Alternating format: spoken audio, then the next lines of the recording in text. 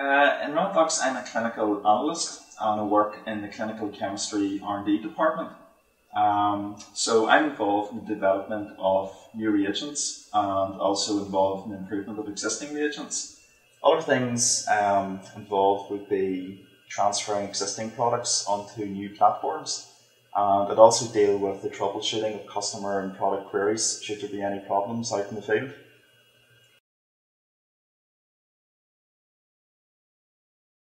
A reagent is a chemical used to detect another chemical or an analyte in a patient's sample. Um, so a cholesterol reagent, as the name suggests, uh, detects cholesterol. So that means that the end user, such as a GP, can look at the results and determine whether or not they're too high or too low um, in relation to what the normal range you know, should be.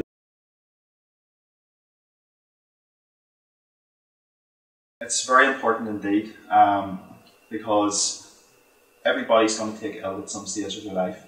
Um, I'm going to take ill, you're going to take ill. Um, for example, something like diabetes, um, we have to constantly monitor the levels of glucose, and then a GP can administer the correct dose of insulin.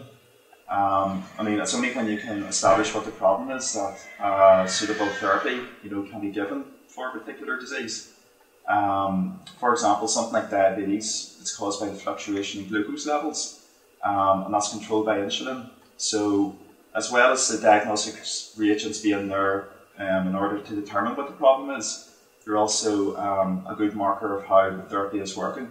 Um, for example, even chemotherapy can have adverse effects on our vital organs. So, it's important that um, the reagents are there to kind of monitor the health of those organs to make sure there's no fluctuations in any of our within our blood.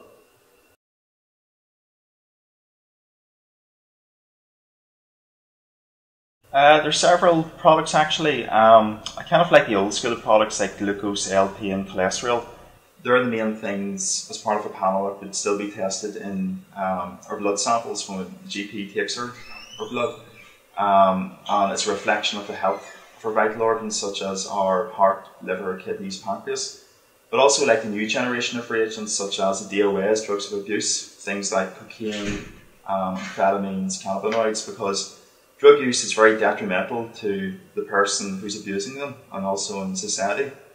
Um, so it's pretty important that there's assays like that available for testing um, patient samples so that illegal substances can be detected and that can only be good for society and for upholding the law.